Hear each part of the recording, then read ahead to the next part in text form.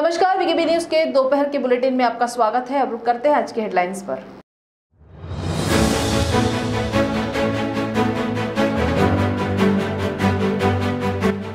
देहू में हुए अजित पवार के अपमान पर अमोल मिटकरी ने दी प्रतिक्रिया, की देवेंद्र फडणवीस की निंदा। कहा, अजित पवार का अपमान है पूरे महाराष्ट्र का अपमान।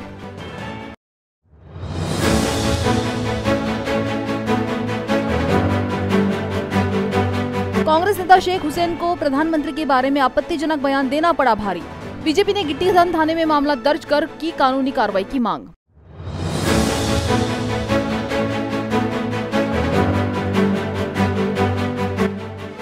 और शेर के हमले में गई व्यक्ति की जान वन विभाग से परिवार को मदद दिए जाने की की जा रही है मांग।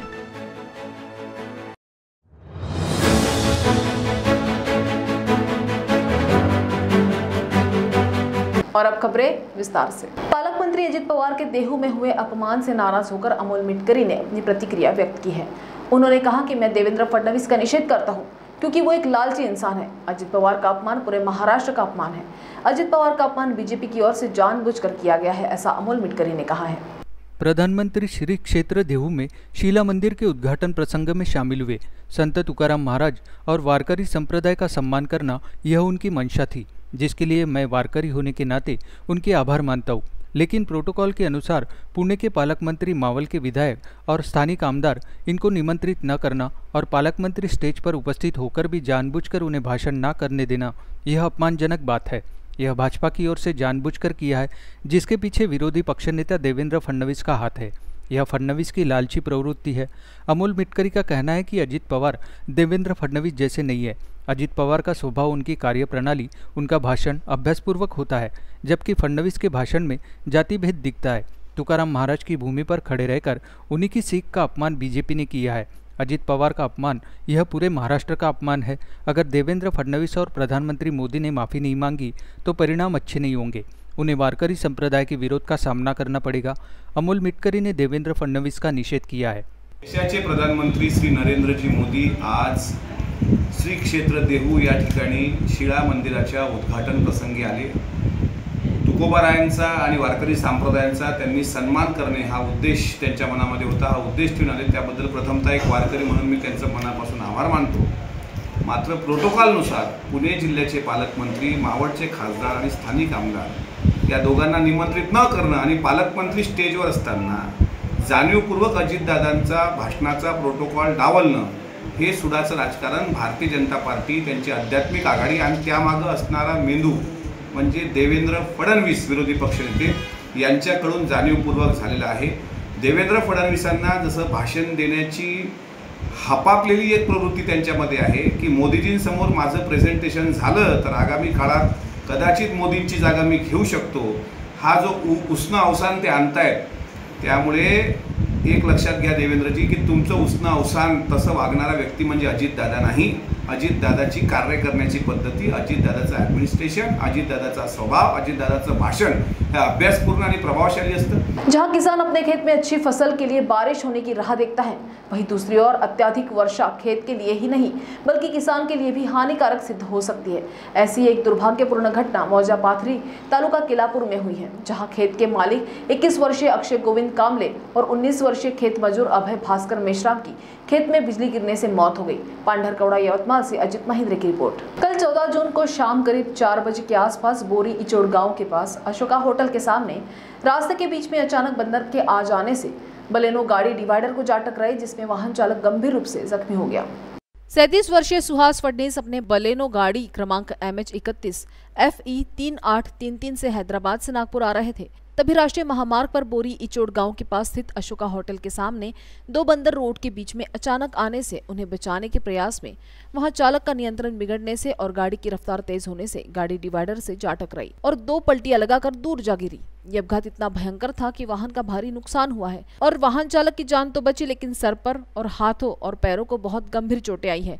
उन्हें अस्पताल ले जाया गया है। वड़की पुलिस स्टेशन के पुलिस कर्मचारियों ने घटनास्थल पर पहुंचकर तुरंत आगे की जाँच आरंभ की। वीकेबी न्यूज़ के लिए यवतमाल से अजित महेंद्रे की रिपोर्ट। नागपुर कांग्रेस के पूर्व नगर अध्यक्ष शेख हुसैन देश के प्रधानमंत्री को लेकर आपत्तिजनक बयान देने की वजह से मुसीबत में पड़ गए हैं। शेख हुसैन के खिलाफ गिट्टी खदान थाने में मामला दर्ज किया गया है। पूर्व ऊर्जा मंत्री और भाजपा नेता चंद्रशेखर बावनकुले ने गिट्टी खदान थाने का दौरा किया और कांग्रेस नेता शेख हुसैन के खिलाफ कानूनी कार्रवाई की मांग की।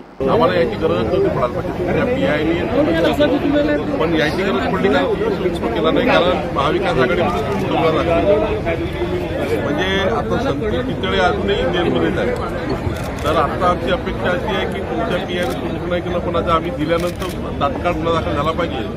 त्याची कॉपी आम्हाला मिळाली पाहिजे पुढच्या वकिलाचं मार्गदर्शन घ्या घ्या तुम्ही. पण मला आमच्या वकिलांनी बरोबर एकदम करेक्टलीला कोणता गुन्हा दाखल होतो काय होतो आमची विनंती आहे की तुम्ही किमान शनिवार की रात को कन्हान पुलिस स्टेशन अंतर्गत पाँच किलोमीटर दूरी वराड़ा परिसर के बंद टोल नाके पर, टोल नाका सुपरवाइजर 46 वर्षीय दिलीप श्यामराव जी बावने को पेट्रोलिंग करते समय वराड़ा परिसर में बंद टोल नाका एन एच हाईवे रोड पर लगाए हुए लोहे की चार रेलिंग चोरी होने की बात समझ आई। उन्होंने तुरंत कन्हान पुलिस की मदद से चोरों की तलाश शुरू कर दी। शनिवार 11 जून करीब शाम 6 बजे से रविवार 12 जून करीब सुबह 10 बजे तक कन्हाल पुलिस स्टेशन अंतर्गत 5 किलोमीटर दूरी वराड़ा परिसर के बंद टोल नाके पर टोल नाका सुपरवाइजर 46 वर्षीय दिलीप शामराव जी बावने ये पेट्रोलिंग कर रहे थे। तभी उन्हें वराड़ा परिसर में बंद टोल नाका एन एच हाईवे रोड पर लगाए हुए लोहे की चार रेलिंग नहीं दिखी। ये एक रेलिंग की कीमत 4,800 है मतलब कुल मिलाकर उन्नीस हज़ार का माल चोरी हुआ था। इस चोरी में शामिल पाँच आरोपियों को गिरफ़्तार किया गया है। शिवनंदन नवरंग सिंह, कन्हैया काशीराम धुर्वे, सोहेल अब्दुल खान, शिवचरण रविकिरण शाहू, रविकिरण दुर्गा प्रसाद शाह, ये आरोपियों के नाम हैं। आरोपी के पास से दो वाहन और बाकी चोरी का माल जब्त किया गया है। इस प्रकरण में फिरियादी दिलीप श्यामराव जी बावने की शिकायत के आधार पर कन्हान पुलिस स्टेशन में इन पाँचों आरोपियों के खिलाफ गुना दाखिल किया गया है। आगे की जाँच पुलिस निरीक्षक विलास काले इनके मार्गदर्शन में सहायक पुलिस निरीक्षक फुलझेले सहित सहायक फौजदार गणेश पाल कर रहे हैं। खबरों के सिलसिले में वक्त तो चला एक ब्रेक का मिलते एक छोटे से ब्रेक के बाद। बाय सब जानना चाहते हैं। मेरा फेवरेट कलर मेरा फेवरेट डेस्टिनेशन मेरी फेवरेट डिश पर कोई ये नहीं पूछता कि फेवरेट डिश मैं बनाती कैसे हूँ। अरे यार। जिसे टेस्टी खाना पसंद है वो अच्छे टेस्ट तक पहुँच ही जाता है। सुरुचि मसाले। खाने में हो रुचि तो घर लाइए सुरुचि। अपने सपनों की उड़ान भरने की इच्छा तो हर किसी की होती है। पर पंख भी तो मज़बूत होने चाहिए।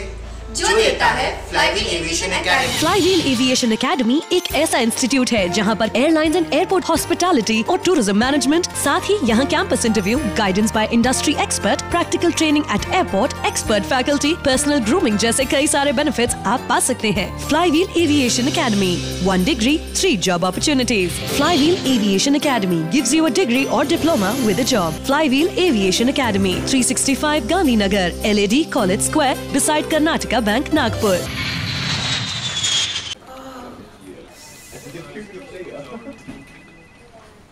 Boss ने मीटिंग बुलाई। क्या यार? आदमी की तकलीफ़ को तो समझो।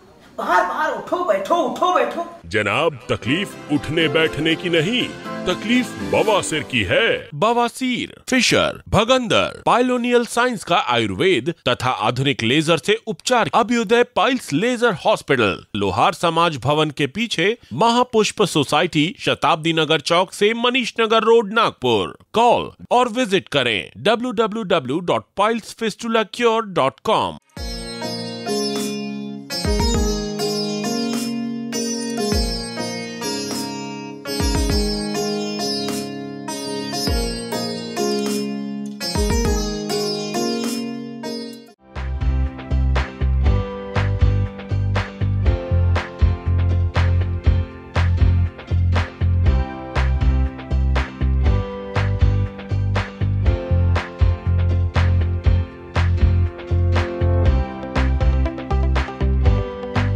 के बाद आपका स्वागत है। गढ़चिरौली में धान उत्पादक किसानों को प्रति क्विंटल एक हज़ार रुपए बोनस या फिर हर किसान को पंद्रह हज़ार रुपए अनुदान दिया जाए। सरकारी अनाज खरीदारी मर्यादा बढ़ाई जाए। इसके साथ अन्य तेईस मांगों के लिए सोमवार को चामोर्शी तालुका के पाँच हज़ार किसान सरकार विरोधी घोषणाबाजी करते हुए उप विभागीय कार्यालय पहुँचे और तपती धूप में आक्रोश व्यक्त किया। चामोर्शी कृषि उत्पन्न बाज़ार समिति के सभापति अतुल गन्यार पवार इन्होंने मोर्चे का नेतृत्व किया। केंद्र व राज्य सरकार सिर्फ़ जय जवान, जय किसान की घोषणाबाजी करती है। लेकिन किसानों की परेशानियों पर उनका कोई ध्यान ही नहीं है। सरकारी खरीद केंद्रों पर स्व उत्पादित अनाज नहीं बेचा जा सकता क्योंकि सरकार ध्यान नहीं दे रही है। किसानों ने विविध प्रश्नों को लेकर मोर्चा निकाला है। कुछ चावल मिल मालिकों के लाभ के लिए। दो या तीन विधायकों ने राज्य सरकार को इस साल बोनस नहीं देने के लिए मजबूर किया, जबकि किसान वास्तव में प्रति एकड़ 15 से 18 क्विंटल अनाज का उत्पादन कर रहे थे। केवल नौ क्विंटल 60 किलो सरकारी धान की खरीद की गई थी। अध्यक्ष अतुल गन्यारवार ने पूछा कि क्या किसान बचा हुआ माल निजी व्यापारियों के गले में डाल दे? राज्य सरकार ने इस वर्ष कुछ लोगों के लाभ के लिए कोई बोनस नहीं दिया है, क्योंकि राज्य के बाहर से कोई माल नहीं आ रहा है। बोनस की जगह डीबीटी के ज़रिए ग्रांट देने की घोषणा की गई, लेकिन अभी तक कि किसी किसान को अनुदान नहीं मिला है। वो अनुदान तुरंत दिया जाना चाहिए। चामोर्शी तालुका में रबी धान बिक्री के लिए पाँच किसानों ने उपस्थिति दर्ज कराई। हालाँकि खरीदारी सीमा समाप्त होने से सैकड़ों किसान धान खरीदने में फंस गए। अनुमंडल पदाधिकारी तोड़साम के माध्यम से राज्य सरकार को तेईस सूत्रीय याचिका भेजकर सीमा बढ़ाने की मांग की गई। नियमित ऋण चुकाने वाले किसानों को पचास हज़ार रूपए की सब्सिडी तत्काल दी जाए। कर्ज माफ़ी से वंचित किसानों को योजना का लाभ दिया जाए, ऐसी मांगे की गई। कल शाम वर्षा ब्रह्मपुरी तहसील के दक्षिण वन परिक्षेत्र अंतर्गत हरदा ग्राम में पैंतालीस वर्षीय राजेंद्र अर्जुन कामली नामक व्यक्ति घर के पास ही जंगल में लकड़ियाँ लाने गया था। तभी अचानक शेर ने उस पर हमला कर दिया, जिससे उसकी मौत हो गई है। इस अचानक हुई मौत से परिसर में हड़कम मच गया है और डर का माहौल बना हुआ है। मृतक व्यक्ति घर का अकेला करता पुरुष था, जिसका पत्नी, दो बेटे ऐसा छोटा सा परिवार है। घर का कर्ता पुरुष खोने से वन विभाग की ओर से कामली परिवार को अविलंब अशासकीय मदद दी जाए, ऐसी मांग की जा रही है। इन दिनों आरमोरी में शेर के हमले में वृद्धि हुई है। इस पर कोई उपाय निकाला जाए, ऐसी मांग वन विभाग को की जा रही है। कैमरा पर्सन बाबू कुरैशी के साथ वर्षा से सतीश पारधी की रिपोर्ट। आज सुबह साढ़े आठ बजे के दौरान गोंदिया ज़िले के दवनीवाड़ा पुलिस थाना अंतर्गत महलगांव मार्ग पर जा रहे रेती से भरे टिप्पर क्रमांक एम एच पैंतीस चार शून्य नौ नौ के चालक ने लापरवाही से सामने जा रहे ट्रैक्टर को टक्कर मार दी जिसकी वजह से वो 50 फीट घिसट कर गया। टक्कर इतनी भयंकर थी कि एक हमाल की जगह पर ही दर्दनाक मौत होगी। अन्य घायलों को प्राइवेट अस्पताल ले जाया गया जहाँ उनका उपचार चल रहा है। गाँव वासियों ने घटना से और पुलिस के देर से आने की वजह से गुस्से में आकर टिप्पर को आग लगा दी। परिसर में हड़कम मच गया। आगे की जाँच जारी है। खेत गए थे खाद खाली करने के लिए। अच्छा। खेत से रिटर्न आ रहे थे। और उसी समय पीछे से टिप्पर आता आ रहा था। उसने ओवरटेक मार के सर ट्रैक्टर के बड़े टायर के मुंडे को ठोका। और उसी के बाद जो उसने घसीटते हुए लेकर गया। कम से कम पचास मीटर तक के उसने घसीटते लेकर गया। और सभी उसमें हमारे भाई जो थे कितने लोग थे डॉक्टर छह लोग थे सर तो हमारा जो भाई था क्या नाम है? धर्मरा जगह से वो जगह पर ही एक्सपायर हो गए बाकी घायल लोग से दवाखाने में भर्ती है सहयोग हॉस्पिटल में भी। ये जो केस हुआ है इसके बारे में सर हमें शासन की तरफ़ से कुछ मदद मिलना चाहिए सर। और टिप्पर मालिक और ड्राइवर के ऊपर में कड़ी से कड़ी कार्रवाई होना चाहिए। क्योंकि सर हमारा भाई गया अभी। और जो अभी हमारे और भाई कुछ भाई एडमिट है सर अभी। उनके ट्रीटमेंट के लिए कुछ राशि मिलना चाहिए सर। उनकी भी तबीयत सीरियस है? सीरियस है सर। सीरियस है? सर। दो तीन जने सीरियस है। एक के पैर टूटा है आईसीयू में भर्ती है और दो के तो एक दो का पैर टूट गया है। टिप्पर वाले पे कार्रवाई होना चाहिए।